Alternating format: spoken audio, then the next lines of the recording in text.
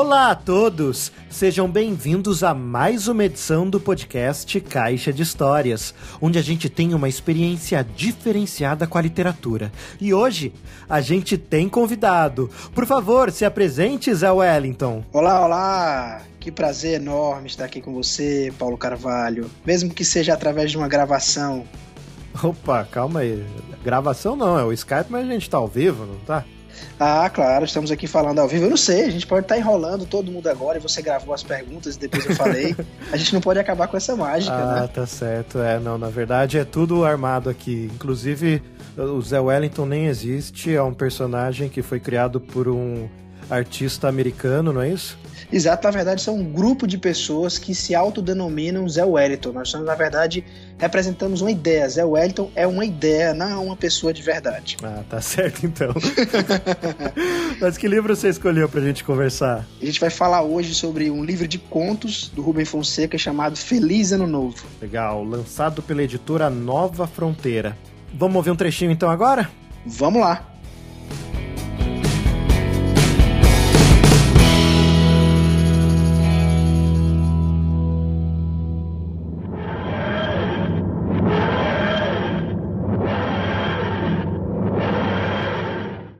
Passeio Noturno Parte 1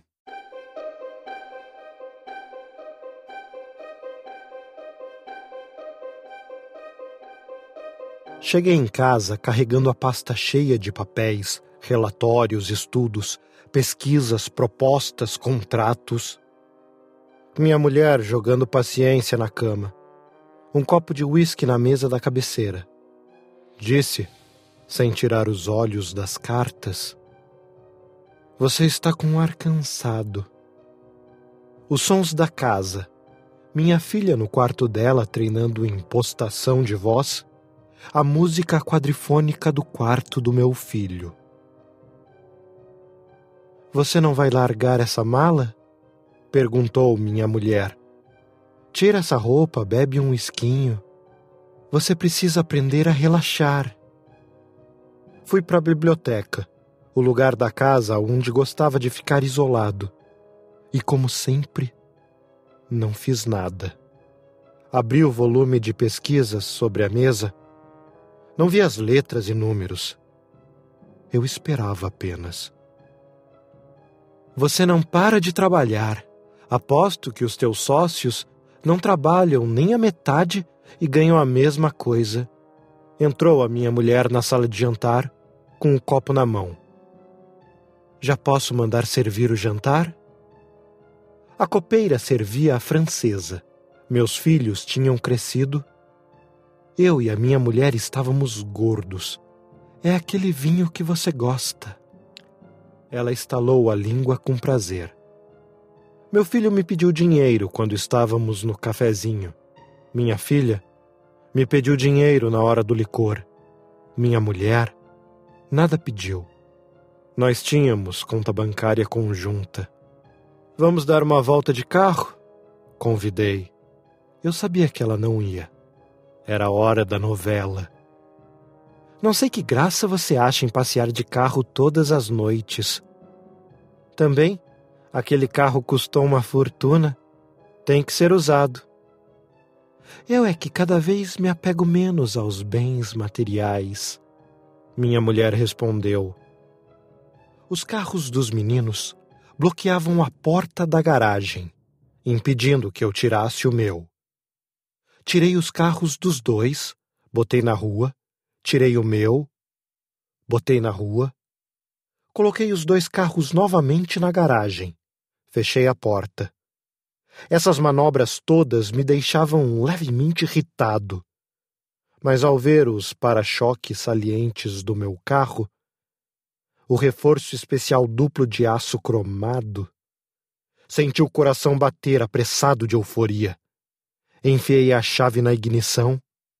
Era um motor poderoso que gerava sua força em silêncio, escondido no capô aerodinâmico.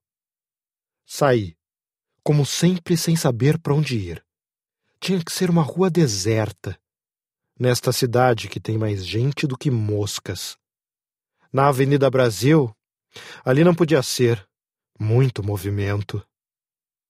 Cheguei numa rua mal iluminada, cheia de árvores escuras. O lugar ideal. Homem ou mulher? Realmente não fazia grande diferença. Mas não aparecia ninguém em condições. Comecei a ficar tenso. Isso sempre acontecia. Eu até gostava. O alívio era maior. Então vi a mulher. Podia ser ela.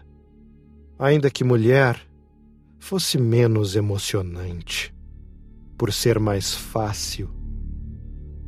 Ela caminhava apressadamente, carregando um embrulho de papel ordinário, coisas de padaria ou de quitanda.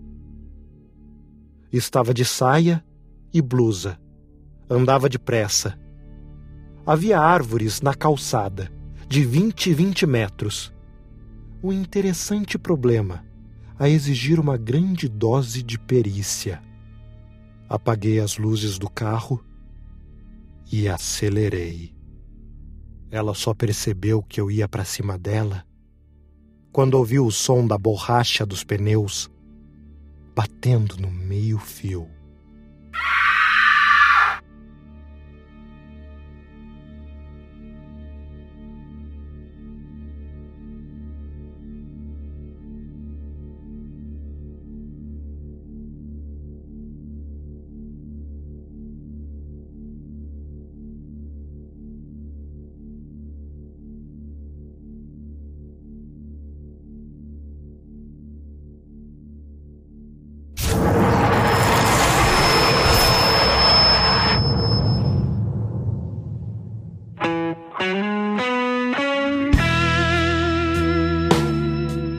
Então, Zé, por que, que você escolheu o Feliz Ano Novo pra gente conversar aqui?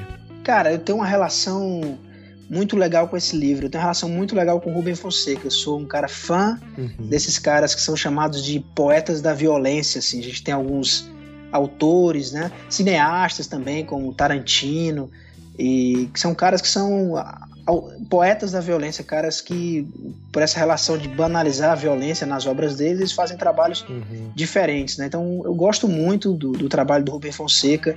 Conheci super por acaso, através desse livro, e eu diria que é um dos autores que influencia muito no meu trabalho de escrever histórias também. E é um autor que me dá um prazer enorme de ler as histórias dele. Muita gente, muitas pessoas talvez torça um pouquinho o nariz pela forma como ele escreve, né? É, é bem pesado, né? Pelo uhum. um pedacinho do conto talvez já dê para sentir um pouquinho, que é, que é um pouquinho pesado. Mas eu pessoalmente gosto muito, não sei se eu tenho algum distúrbio mental para gostar desse tipo de história.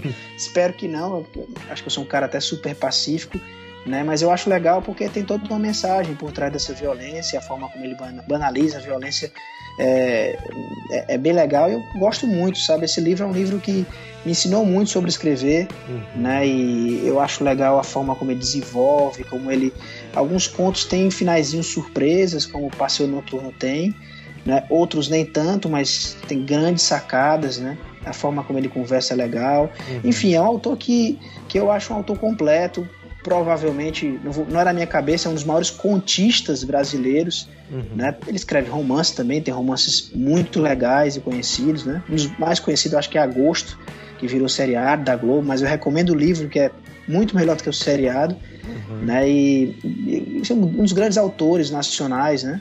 e vivo até hoje e trabalhando ainda, lançando livro de vez em quando, né? É fantástico o trabalho do, do Ruben, né? E influencia muito. Quando você me convidou, foi de cara. Uh, eu queria trazer um autor nacional e foi o primeiro que eu me lembrei. Ah, legal, legal. E é muito interessante você falou aqui da questão da violência, né? Que é, acho que é um, um ponto central desse livro, né? Que desse autor que de repente entraria naquela lista de autores malditos, né? Que a gente tem Sim. desde Gregório de Matos, né? Ah, desde lá de, lá de trás. É, desde lá de trás a gente tem toda essa questão desses autores malditos e pornográficos, né? Sim. Que inclusive eu acho que o Brasil tem um, uma linha de autores muito bons que seguem por essa linha, né? Você se você for ver, até acho que o Nelson Rodrigues entraria aí também. Sim, lembra um pouco. É, Augusto dos Anjos, eu acho que tem um quê também que entraria nisso. E, enfim, é, a violência no Brasil acho que sempre foi muito bem trabalhada na literatura. Eu acho que esse autor é um dos grandes exemplos. É, por que será, né, que a gente fala tanto sobre violência nos nossos textos de ficção, né? Fala assim, já perguntando já de forma irônica. Porque é engraçado se você pegar o conto que você lê um pedaço ou qualquer outro conto do livro. É, eu digo isso, Paulo, porque eu li esse livro pela primeira vez, cara, há uns 15 a 20 anos atrás, faz muito tempo. Né? E eu reli agora, nesses últimos, últimos dias, e é engraçado porque é, eu, eu, eu, leio algumas coisas imaginando é, essas coisas acontecendo agora, sabe? Não, apesar de ser um livro, né, que a gente nem falou ainda, de 75, né, porque o livro é de 75, uhum. é, você pode normalmente ler algumas coisas imaginando elas acontecendo agora. Elas não, tem, tem contos que não estão datados, né, são muito violentos. Talvez uma pessoa pegue despercebida. O primeiro conto do livro, logo, que é Feliz Ano Novo, que é um conto bem violento, e fala sobre violência dessa que a gente está brigando muito aqui no Brasil agora, que é a violência de assalto, de roubo.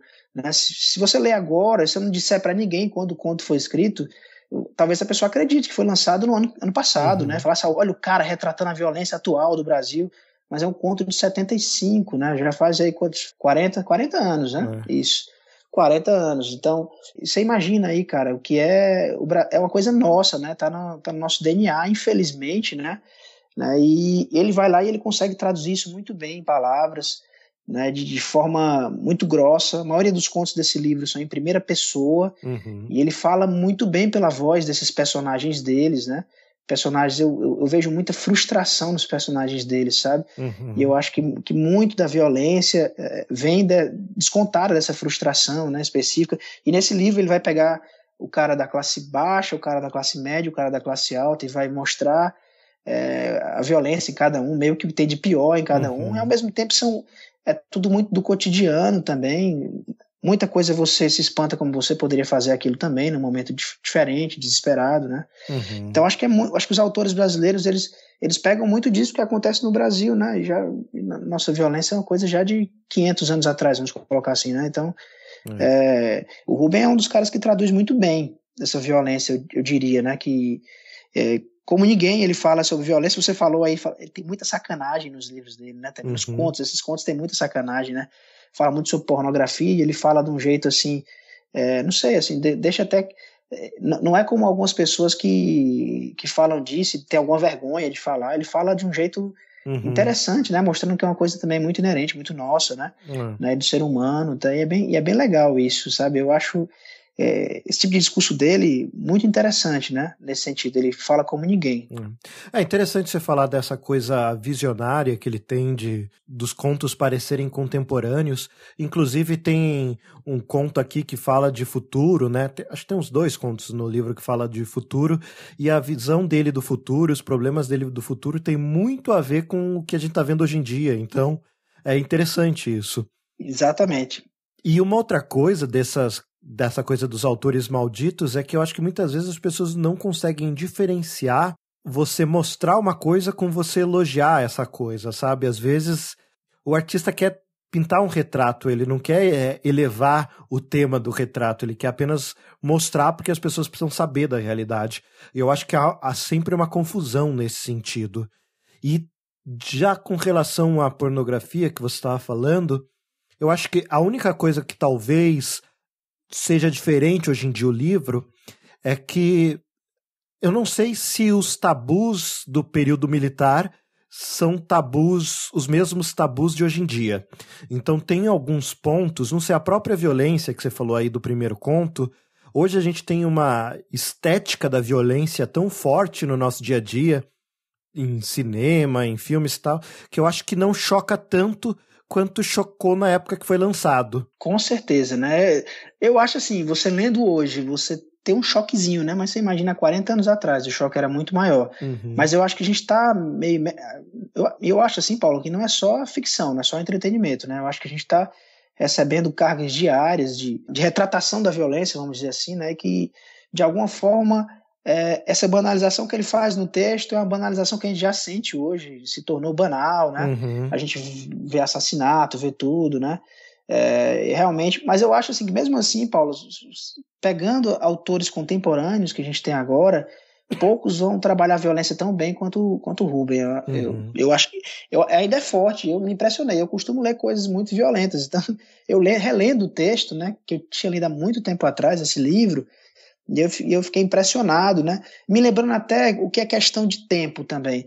Né? Tem algumas coisas que ele escreve nos contos dele. Eu passei por um processo agora nesse último ano de muito questionar o que a gente está representando e retratando na ficção, que, que é importante que o autor ele pense sobre isso. Hoje eu acredito nisso, né, de que aquilo que eu estou falando, que eu estou retratando, ele vai de alguma forma influenciar aquele cara que está lendo, que a gente tem que tomar muito cuidado com o que a gente está escrevendo, né?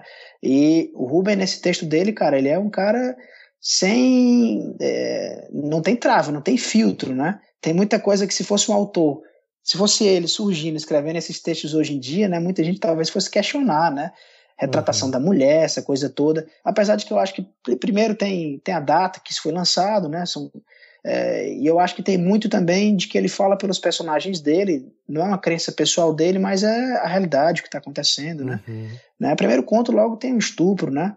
E apesar de ser muito rápido, eu acho que ele não retrata em detalhes e tudo, mas é, hoje se questiona muito sobre como se colocar um estupro numa obra, se realmente é necessário.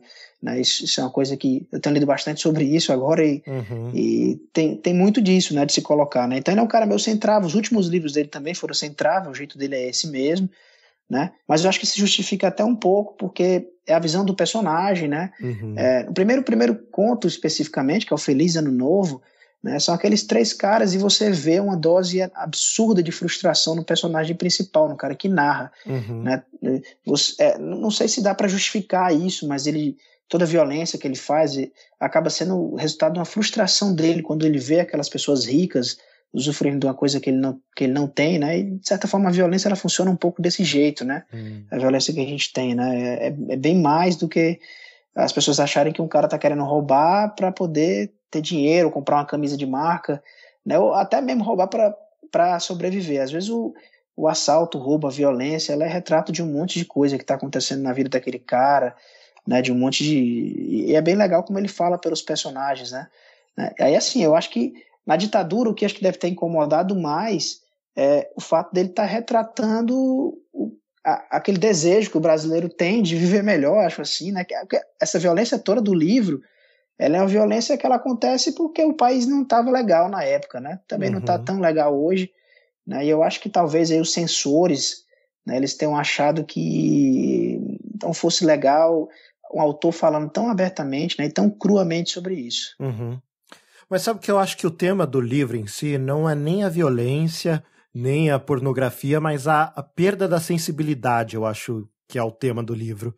Porque eu acho que ele critica que nessa vida urbana, né, a gente vira meio máquina, né, como se a gente virasse engrenagem da máquina cidade e a gente vai perdendo a sensibilidade com a violência. A gente ouve falar de chacina e fala, ah, faz parte da vida, não é com você, é uma história distante, então é como se fosse asséptico. É, e ao mesmo tempo, esse primeiro conto que você falou, é, o que eu sinto da diferença desse livro com autores mais modernos que tratam da, da violência, como por exemplo o Palahniuk, né, ou a própria Ana Paula Maia, que, que a gente fez já uma edição do podcast falando dela aqui, uhum. é que, assim, eu achei que esses, que esses personagens, eles eram meio unilaterais, assim, não senti tanta profundidade neles, assim. Eles são mais...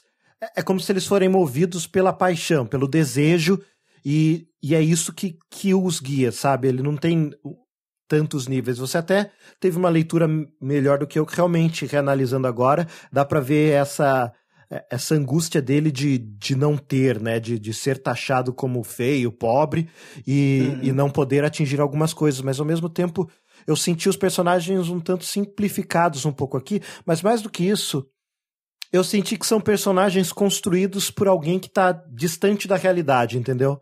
Ele Talvez. Ele parece que ele não se aproxima disso, parece que é um intelectual escrevendo coisas da, do canto dele. O que não invalida o que ele escreve. E eu acho que ele tem consciência disso, porque um dos contos, justamente que ele trata da vida de um, de um escritor, ele uhum. cita essa, essa plasticidade do, do escritor que, que não é real as coisas dele, sabe? Que são que, é, que é uma visão uh, não direta da realidade, não sei. Não sei se está entendendo o que eu estou querendo dizer. Sim, não, estou entendendo perfeitamente, né? Que é até no Agruras, Agruras de um Jovem Escritor, que é um dos contos que tem aqui, né? Uhum. Que talvez ele. Aí você fez uma leitura que eu não tinha feito. Talvez ele esteja. Ele esteja ele mesmo falando dele um pouquinho disso, né? Uhum. Mas eu acho assim, até alguns textos você vê que, que o texto ele é muito simples. Eu, eu acho até legal essa, essa forma que ele usa, né? De você vê que é, que é, bem simples. Eu não sei, eu faço até uma, uma, outra leitura com relação a essa simplificação da fala, do diálogo. Uhum. Né? Nesse, nesse, primeiro conto específico, né, às vezes eu penso que ele está tentando emular uma fala de um cara que talvez não seja tão preparado, né? não tem educação tão formal, né? Uhum. não sei se talvez seja isso, mas existe realmente esse, esse distanciamento, provavelmente existe. Eu te confesso que eu não sei como, como foi a adolescência, a juventude dele, mas ali eu acho que é o cara que, que foi da escola da polícia, né? Que é a história do Rubem Fonseca é essa, né?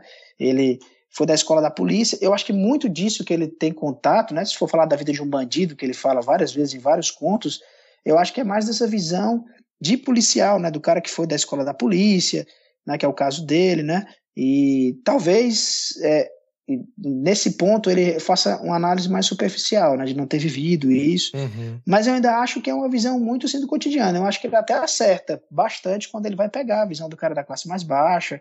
Né, eu, eu acho que, que, ele, que ele acerta bem, acho que ele consegue colocar a gente no clima né, de, disso. Né, e, e eu sinto muito isso, que ele vai para o lado da frustração. Teve uma coisa que você falou que eu acho interessante do Rubem Fonseca, né? Você falou dele, hum. dele banalizar a violência, de, de, de, que é uma coisa tão comum que você fica meio máquina, meio frio a isso. Não é aquela história do médico que de tanto cortar, de tanto abrir, fazer cirurgia, ele já não tem mais nojo de sangue, ele já às vezes trata o paciente que está ali em cima da, da maca como se fosse um pedaço de carne mesmo, né? Uhum. E tem muito disso. Eu, eu, consigo fazer até uma análise aí, encostando nessa história do capitalismo, né? Eu, eu vejo um, um, confronto muito grande do Rubem com o capitalismo nesses textos, né? Eu acho que tudo isso é uma grande crítica ao capital. Eu consigo ver dessa forma, né? Bem, meio que do jeito dele, né? De dizer que a gente, é, não sei, que a grana está tomando conta de tudo mesmo, as pessoas pensam movidas por grana. A gente chegou num, no, numa, numa, versão nossa meio tosca do American Way of Life, assim, é, uhum. passeio noturno, eu acho que tem muito disso, cara, sabe, de é, porque lá ele vai falar da classe média, né? Uhum. É o cara que uhum. teoricamente tem tudo, tá bem, tá de boa, pode não ser rico e tal, mas tem aquela vidinha que ele tem lá. Só que para ele também é frustrado, também é uma vidinha mais ou menos também, e que não completa ele, né? Uhum. Eu vejo isso também muito na obra do Rubem Fonseca como um todo. Eu, eu acho que são todos esses temas, né? É, é, é, bem legal pensar dessa forma, né? Que ele vai de um lado para o outro, que ele vai pensar em capital, que ele vai pensar em consumo. Isso está tá, tá muito espalhado durante o texto dele também. Nesse livro tem bastante disso. Uhum. É interessante. Essa visão do capital não tinha pegado, não. Mas é interessante essa visão. Uh, eu acho interessante também o cinismo que tem em todo o livro, assim, sabe? Tem. Parece que você sente o autor uh, meio que tirando um sarro com a cara do leitor, assim, enquanto você lê. Você, Sim. Você sente isso nos contos, assim, como tem um, sempre a presença do autor, eu acho, muito, muito forte nos contos. É, eu realmente acho que tem uma dose grande de cinismo no, no texto dele. Acho que os, os narradores do Rubem Fonseca, eles são cínicos mesmo, eles dialogam com, a, com o leitor de alguma forma, tentam adivinhar o que o leitor está pensando, meio que é, uma coisa machadiana mesmo, de Machado de Assis. É, eles são caras quebrados, cara, caras imperfeitos, caras é, que têm problemas e a maioria deles eles não escondem esses problemas, sabe? Eles falam abertamente sobre os defeitos que eles têm, né? Uhum. E isso é, é, bem interessante. Eu acho que cria pontos aí até de você se encontrar em algumas coisas que o cara tá falando, né? de de alguma forma o Rubem Fonseca fazer você, fazer você confessar que você também é um criminoso, igual aquele cara também pensa daquela forma às vezes, né? né? Quando ele fala sobre sexo, é, tem muito isso, eu acho. Uhum. Nos contos que ele fala sobre sexo, ele tem muito dessa história de você se imaginar na posição daquele personagem, né? E são personagens problemáticos, a maioria deles. Nenhum, nenhum personagem dele tem uma, uma visão que eu possa transformar o cara num herói, não. Os caras têm problemas, todos eles têm, né? Uhum. Eu acho que tem muito disso nos personagens dele. E, é, é, e aí ele criando um elo, um vínculo com aquele leitor, né? De alguma forma. Porque através dos defeitos é mais fácil você acha que se identificar com o personagem, com aquela história que está acontecendo, aqueles relatos de cotidiano. A gente não falou também que é, Rubem Fonseca é um cara muito pé no chão, muito realista. Uhum. Você, dificilmente você vai encontrar ficção científica, um relato mais fantástico nas obras dele, né? Tudo muito cru e muito urbano. Uhum. É. Bom, uh, se fosse para fazer uma sinopse do livro, qual seria? Ah, eu, como são vários contos, né? Eu diria que são relatos do cotidiano, é, relatos de violência urbana, né, textos diretos, né? Desse escritor chamado Rubem Fonseca, como eu já falei, um poeta da violência também, poeta do sexo também, da pornografia de alguma forma, né? Uhum. Mas são, são relatos cotidianos de personagens imperfeitos, né? relatos de frustrações de, de personagens imperfeitos. Eu vejo muita frustração. O título Feliz Ano Novo, pegando pelo texto, né? Que é, Feliz Ano Novo é uma mensagem muito otimista, né? Que você dá e tal. E eu acho que os contos eles falam muito sobre pessimismo, o próprio pessimismo do, do Rubem Fonseca. E eu diria que são relatos de violência, né? Relatos pessimistas sobre, sobre a pessoa uhum. desse autor chamado Rubem Fonseca, que é um dos maiores contistas do Brasil, um dos maiores escritores que o Brasil já teve, né? Tem ainda, no caso, né? Que ainda é vivo. Uhum. Legal. Bom, um, um, uma curiosidade, uma bobagem agora, mas é, que eu acho que é uma coisa que mudou de quando o livro foi escrito para hoje, é que o peso enorme que se tem pro homem brochar. Tipo, o homem brochar ah. é o pior crime que o homem poderia acontecer. O cara uh, pode ser preso, o cara pode fazer o que for, mas ele não pode admitir que brochou nunca. Isso eu acho um, uma diferença que a gente tem hoje em dia é interessante, né? E demonstra também o, o período em que o livro estava foi publicado. O que também, o livro não deixa de ser um registro histórico de uma época. E nessa edição que eu li, é, da Nova Fronteira, tem um, um, dos textos finais em que faz justamente uma análise sobre a época em que o livro foi publicado, que ele foi proibido pela ditadura, aí houve toda uma movimentação de artistas para liberar, ele foi chamado de pornográfico, disso e aquilo, e é interessante ver que o próprio autor, de certa forma, meio que se defende num dos contos finais aqui do livro, que é o conto Intestino Grosso. É o último conto do livro. Isso, que ele bota um autor sendo entrevistado, né? O autor, inclusive, é meio ele não trata bem os jornalistas, vamos dizer assim. e isso parece que ele está traçando um autorretrato, né? Inclusive um, nos textos posteriores a, aos contos também, há uma análise que muita gente tenta fazer esse paralelo entre o autor do texto e o Rubem Fonseca. Exato. Na verdade, a gente precisa falar sobre a figura do Rubem Fonseca. Ele é um cara totalmente antissocial também, você até tocou aí no assunto, né? Ele, pessoalmente, ele, ele é um cara avesso à imprensa. Te desafio a procurar uma entrevista dele no YouTube para ver se você encontra alguma coisa recente. É complicado. Hum. Aí, se você não encontra, o cara super difícil. Esse conto ele é muito legal, né? Ele tem uma frase, até separei aqui, que ele fala que, que esses escritores pensam que sabem de tudo, né? Eu acho que ele está fazendo meu análise mesmo já, e, talvez até imaginando que ele fosse receber essa crítica, de repente não fosse passar pela censura. Né? Tem, tem muito disso, e é, e é meio, esse texto é meio que uma justificativa dele para muito que ele pensa, por mais cínico que seja uh, o discurso que tem no, no conto, né? De alguma forma ele, eu acho talvez se defendendo, justificando de alguma forma, uhum. né? E falando sobre ele mesmo. E, e, eu, eu também faço essa leitura que você faz também. Não duvido que tenha sido isso que tenha acontecido. Uhum. É, e inclusive nesse ponto que a gente fala da pornografia, que tanto pegavam no pé dele na época, o que a gente vê a como o sexo é um tabu muito maior do que a violência, né? Exato, então, até complementando, você falou a história do, do homem brochar, aquela coisa toda que era um grande tabu. É, esse livro, né, como você falou, retrato da época, a gente está vivendo um momento interessante de se questionar machismo. Eu vou dizer que, uhum. que essa história do, do homem falhar no sexo também é um resultado do machismo, do cara, o cara tem que ser o machão, tem que pegar todo mundo, os personagens, inclusive, do Rubem Fonseca, ele tá cheio de personagem assim, uhum. cara que não leva de não leva desaforo para casa, né, e quer se acertar. Um dos contos que eu falei que não está nesse livro, que é esse esse conto A Força Humana, ele fala muito disso. O personagem é um cara que, em determinado momento, ele percebe que o, o cara que é como fosse o sensei dele lá, o professor dele, tá começando a valorizar mais outra pessoa, e quando esse cara olha torto para ele, ele vai, ele cai para dentro, né? E muitos dos personagens dele são personagens que estão tentando provar a masculinidade deles, né? Uhum. Do conto bacana de fora desse livro, que não está aqui, que é A Confraria dos Espadas, que é um livro que ele fala de um, como fosse uma confraria de homens que eles estão procurando encontrar uma forma de, do homem gozar sem ejacular. Uhum. Né? Tem esse, esse, conto sobre isso, e é um conto muito engraçado, né? E também ele vai tratar do tabu, né, do sexo com relação ao homem também, porque a gente também tem tabus com relação a isso, mas como você falou, são coisas que felizmente a gente está vencendo, a gente está tirando o elefante branco da sala, né? Uhum. está começando a conversar sobre esses temas, né? Isso, e isso é legal na época e isso não existia, né? E eu acho que os censores também analisaram. Esse cara tá falando de putaria demais. A gente não pode deixar um livro desse jeito sair, né? E esse conto final, Intestino Grosso, ele vai falar disso, né? Uhum. E aqui eu tô vendo aqui o conto e tô vendo uma frase que é interessante, que na hora que ele fala que esses escritores pensam que sabem de tudo.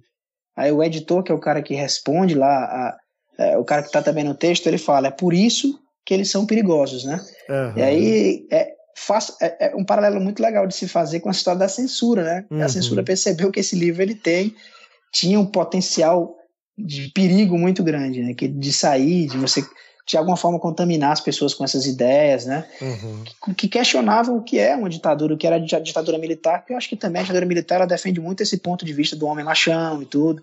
Tem, tem toda uma ligação uhum. com relação a isso, né? A figura do militar eu acho que traz muito disso. É verdade.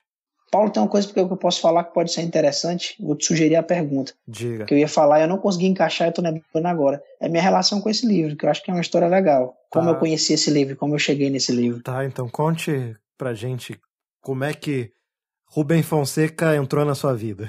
Cara, é engraçado, porque é, eu já era, sempre fui um leitor voraz, assim, de tudo. Eu devia ter, não sei, vou chutar, uns 14 para 15 anos. Tinha sido convidado por um tio meu que mora em outra cidade para ir dormir lá na casa dele, que meu primo, que era é, filho dele, era muito meu amigo, um primo que eu gostava bastante. E eu estava na casa deles, e na época o meu primo tava, tinha uma namoradinha e tudo, né? Uns dois anos mais velho do que eu. Uhum. E quando foi à noite, ele se pendurou no telefone com a namoradinha e me deixou lá de escanteio, de lado, cara. Uhum. E eu fiquei na casa dele lá, meu abobado. E é, esses meus tios, eles gostam muito de leitura, muito de livro, mais até do que na minha casa. Minha mãe gostava bastante, mas esses meus tios gostavam mais ainda. E tinha lá uma prateleira de coisas, cara, cheio de livros. Sempre li tudo, li até bula. E me chamou a atenção o Feliz Ano Novo, uhum. o livro. E enquanto meu primo ficava com a namoradinha, eu comecei a ler os contos, sabe? E, cara, sei lá por quê, cara, é, folheando, eu parei no passeio noturno para ler. Eu tinha 15 anos, era um negócio muito, muito doido para mim esse conto. Ele tem um, um final bem interessante, né? Porque o legal dele é a virada pro final. E quando eu li, eu fiquei louco, cara. Eu falei, quem é esse cara, bicho? Que eu lia outras coisas na escola que não tinham nada parecido com aquilo, né? Aquele tom de violência. Era um mundo novo que estava se abrindo para mim, né? Uhum. Com relação, cara, como é que um cara escreve isso, né? Que doideira, que virada foi essa, que coisa violenta é essa? E eu, e enquanto meu primo estava com a namoradinha, eu comecei a consumir esse livro loucamente ali mesmo, na frente, e fiquei apaixonado pelo jeito de escrever dele esse discurso indireto dele de não usar travessão, de não usar nada, o cara escreve tudo, bota diálogo dentro do texto, é, uma loucura e tal, e ele cons consegue emular bem o que é, é, a voz dos personagens dele dessa forma, acho muito interessante, que é, é ele tem um, um, um, discurso assim, ele usa bastante gíria e tal, e é bem legal, ele é um pouco formal, né, o Robin Fonseca, uhum. mesmo para a época dele. Né, e aí eu fiquei louco por causa disso, cara, porque meu primo estava pendurado no telefone com a namoradinha, e eu, e eu aproveitei derrubei o livro quase inteiro na madrugada, esperando ele terminar a ligação dele, cara. Interessante isso. Né? E fiquei fascinado pelo jeito de escrever daquele cara. E eu acho que, inclusive, depois dele, ver o Tarantino, ver o Garfienes, que é um uhum. roteirista de quadrinhos que é muito violento também. Né? E eu acho que eu fui encontrando Rubem Fonseca nesses caras e fazendo deles os meus autores prediletos também. É, é engraçado que esse livro, para mim, me remeteu muito à Laranja Mecânica, Laranja Mecânica, o livro é de 62. Ah, então o livro veio antes, Laranja Mecânica. Veio antes. De repente, o Ruben pode até ter lido o livro do Anthony Burgess, né? É. Que é o, o livro. Né? O filme veio depois. O livro, aliás, o filme aqui se eu não me engano, já era década de 70. Eu já não sei se é antes ou depois. Uhum. É, tenho que ver, mas talvez, não sei, pode até ser que ele tenha lido, né? De alguma é. forma, esse.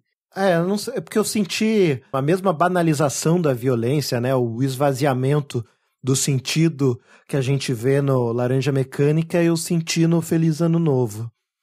Sim. E, então achei que tem uma proximidade. De certa forma, uh, a violência é sempre um, um tema que está pairando a cabeça da gente, né? O ser humano é um ser violento por natureza. Sim, agora eu acho que para eles é mais forte. Eu acho que tanto Burgers como o Fonseca, eles são autores de underground, né? São caras são caras alternativos para a época deles. Eles, é, uhum. eu acho que o momento deles, assim, de literatura, se não me engano, é, é pós-modernismo, né? São pós-modernos. Né? E eu acho que já é uma, uma geração mais crua mesmo, talvez afetada pelo. É, já é, um, é bem na mesma época do movimento hippie e tal, acho que já é afetado pelo underground, de, de experimentar, de ser mais cru, de ir pra rua, né, uhum. de celebrar o lixo mesmo. Esses caras eu acho que tem muito de, de, dessa proximidade. Né? Eu tô vendo aqui que o filme ele é de 71, se o livro é de 75, eu não duvido nada que o Ruben tenha assistido lá na Mecânica no cinema. É. É, de repente até tem uma influência aí, mas assim, o Ruben, eu acho que o primeiro livro dele é de 62, 63, primeiro livro de contos dele. Né? E ele já, tinha, ele já tinha esse discurso já, ele já era mais ou menos assim, já eu acho que é muito do momento mesmo, viu, de, de literatura que, tava, que o mundo estava passando. Entendi. É, é, é, às vezes essas semelhanças assim parecem um um decorrer do outro, mas às vezes são simplesmente o assunto está pulsando na, na sociedade e ele pipoca em vários pontos ao mesmo tempo, né? Exatamente. Eu acho que é muito, eu não sei, fazendo uma análise, a Segunda Guerra foi 45, 30 anos depois da Segunda Guerra, né? Já era um cara nascido depois da Segunda Guerra. Eu acho que tem muito, tem, tem muito disso, né? Se você for pesquisar é a raiz da coisa. Uhum. Mas eu acho que tem muito essa coisa do underground mesmo. Eu, eu, vejo muito no texto dos dois, né? O texto do Ruben, como eu falei, esse discurso indireto, não tem travessão, não tem nada. É uma coisa, vou dizer experimental, talvez seja exagerado, vanguardista, talvez seja exagerado isso, mas tem muito essa coisa de você questionar o formal, né? Porque uhum. o formal é travessão, né? Então ele vai mistura tudo e você não, às vezes não sabe se é o cara falando, se é o narrador falando. O narrador fala pelo pelos outros, né? Nos contos, é engraçado isso, né? Ele vai, uhum. ai, e, e, saia daqui, falou o cara, né? O cara junta tudo, não bota nem vírgula às vezes, né? É engraçado, não tem, ah, não tem aspas, não tem nada. Ele mistura uhum. o texto do narrador com o diálogo. Mas o texto é ágil de ler. Sim. Essa falta de formalidade não significa dificuldade de entendimento. Exato, eu acho que é muito para dar velocidade também, né? Isso aí com certeza. Uhum. Tem momentos que tem parágrafos imensos, cara, que ele reproduzindo um pensamento de um personagem, né? E que eu acho que esses parágrafos imensos também, você lê rápido também, né? Você e quando você, você se pega lendo correndo também, é recurso mesmo de, do autor, né? De fazer com que você leia rápido, porque naquele momento talvez o, o, personagem ele esteja se expressando rápido, ele esteja pensando rápido, ou ele esteja nervoso com alguma coisa, uhum. né? Mas, mas assim, eu acho que quebra muito o formal, né? Eu, eu lhe confesso que eu não li Laranja Mecânica, o livro, né? Sou fã do Stanley Kubrick, do filme, né? Adoro o filme, demais, né? tá, tá, tá casando com tudo isso que eu já falei aqui agora, Kubrick também é um cara ele é meio que um poeta da violência, mais um poeta do sexo do que da violência, mas tem muita violência no trabalho dele também. Hum. Né? E eu adoro o filme, mas eu não li o livro, não sei como é que é o jeito de escrever do, do Anthony Burgess, né? Porque sou louco para pôr a mão nessa versão que saiu brasileira aqui, que é lindíssima. Ainda vou, ainda vou fazer isso ainda. tá certo. Bom, eu acho que é isso. A gente passou uma geral pelo livro, então. Assim, não, o livro não se resume a, a um universo marginal no sentido de é, favela, né, de pessoas pobres, mas é um livro marginal no, no sentido da palavra a margem da sociedade, né, pessoas que, que vivem a, a violência ou o sexo com um certo extremismo, embora nem todos os contos, né, tem alguns contos que ele que, que parece que são pessoas que poderia acontecer com a gente também. Sim, tem, é, no geral tem bastante violência, é muito cru o texto. Às vezes quando não tem a violência e o sexo, mas ele de alguma forma ele, ele, ele, dá porrada no texto dele, cara. Ele, e eu já vi em entrevista dele, uma das poucas que ele já fez, que ele é o interesse dele, ele, ele gosta de incomodar. Uhum. Ele gosta de incomodar. E o sentimento de incômodo, eu acho que é uma coisa que é, é, seria o grande resumo da obra do Rubem Fonseca, é. né, de, de, te deixar incomodado, né? Ele, é, cê, pô, um cara que escreve um livro, né? Como, é, deixa eu até ler o título aqui, porque eu sempre é secreções, excreções e desatinos, né? É um cara que está falando sobre. Tem um conto que chama nesse livro, chama Copromancia. Uhum. Se, se, copromancia, né? Se você for pegar. Tem aquela. Como é que chama como ler a mão? Alguma coisa mancia, que não vamos lembrar agora o nome, ó. Quiromancia, a leitura da mão. Quiromancia, que é da mão. Copromancia, você sabe o que é copro, ah, o prefixo? É, seria, seria a leitura dos excrementos, né? Exatamente, né? Então você imagina, ele, o negócio dele, cara, te incomodar, te deixar enojado mesmo. Né? É, isso é o, é o grande elo comum da obra do Rubem Fonseca. Ele quer te incomodar. Ele já falou que, que para ele um texto ele não tem valor se ele não incomoda o, o leitor para o Rubem Fonseca. Né? Então, eu acho que ele cumpre bem o papel nesse livro, em todo o texto dele, toda a bibliografia do, do Rubem Fonseca, ela está aí para incomodar quem gosta de ser incomodado, de pensar, de refletir sobre as coisas, né? Uhum. né? E é por isso que é, é, é, uma obra que tem um potencial combustível muito grande. Eu acho que a censura já tinha percebido isso e tentou fazer com que esse livro ele não acontecesse, né? Não fosse lançado. É, tá certo.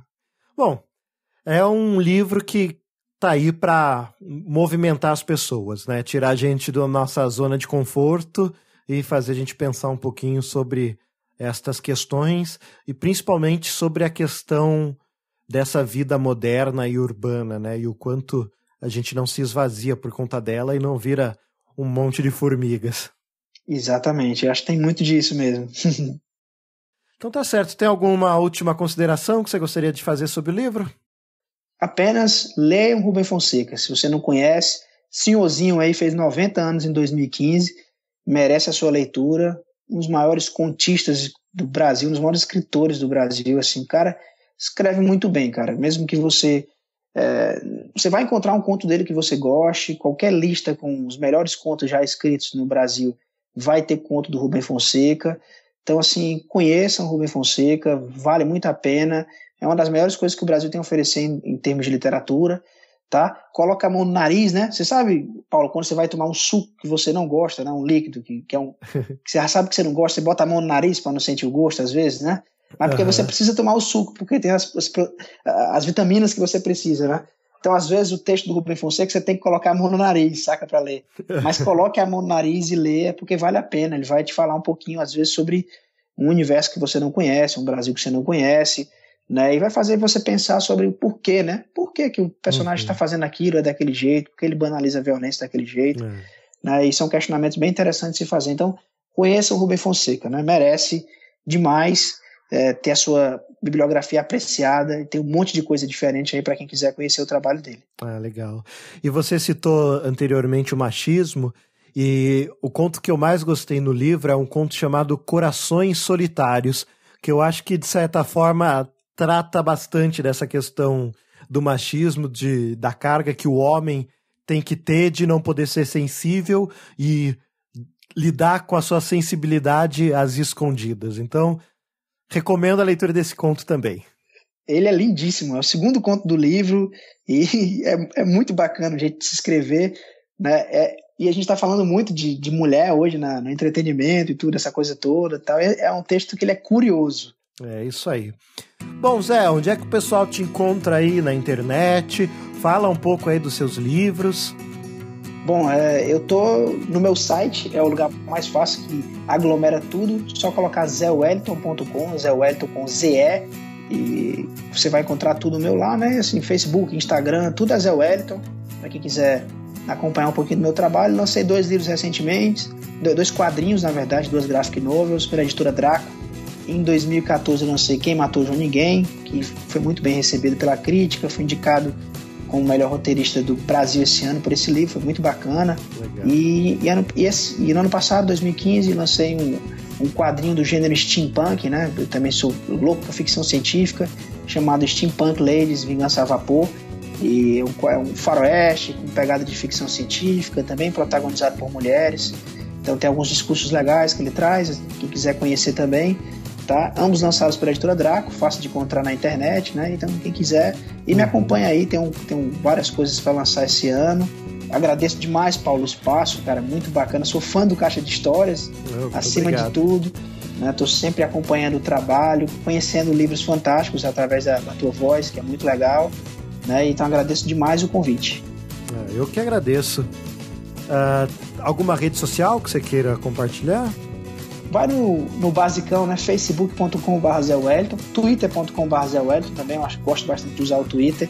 Quem for lá vai saber um pouquinho do que eu estou falando e indicações de coisas da cultura pop que eu gosto de fazer bastante, gosto de fazer minhas, minhas críticas sobre coisas que estão sendo lançadas, tá? Aí também tem um pouquinho de Zé Wellington em iradex.net também, né? Tem alguns textos meus lá, participei já de alguns podcasts com os meninos, estou em débito com eles, porque eu sou, pela segunda vez, sou recém-pai, então estou agora dando uma, uma, uma atençãozinha assim especial para minha segunda bebê, mas em breve vou estar tá gravando mais com os meninos também, então quem quiser também tem um pouquinho de Zé Wellington lá no podcast do Iradex, pode procurar, tá? E é, é, é, por, aí, é por aí, cara. Zé Wellington no Google, meu amigo, vai aparecer muita coisa. Posso, posso garantir isso para vocês. tá certo, então. O e-mail do Caixa de Histórias vocês já conhecem, é caixadehistórias@iradex.net. O Facebook é facebook.com/barra Caixa de Histórias Podcast. O Twitter é Caixa Underline Histórias. E entrem no grupo Pandores façam parte dos Pandores. É lá que a gente discute todas as novidades que a gente traz aqui para o podcast. E se você ainda tem interesse em participar do nosso curso de expressão ao vivo, no post desse episódio tem um link para um formulário onde você pode se inscrever neste curso. Tá certo? Também vamos ter uma versão em Hangout deste curso, que assim que eu tiver algumas datas mais certas eu já aviso para vocês.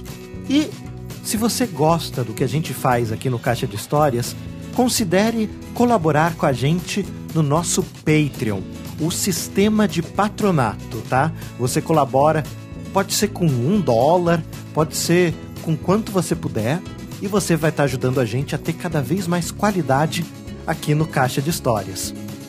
Outra coisa que você pode fazer é sempre que você for comprar um livro, você clicar num dos links que a gente tem de compra no post dos episódios. Aí a gente ganha uma comissãozinha na, com a compra dos livros que, que você fizer. Bom, Zé, muito obrigado por você ter vindo aqui participar. O livro é fantástico e a sua presença aqui engrandeceu muito o programa. Desejo muito sucesso para você aí. Os seus quadrinhos são lindíssimos. A gente vê que você também sabe escolher o, os artistas para trabalhar junto com você.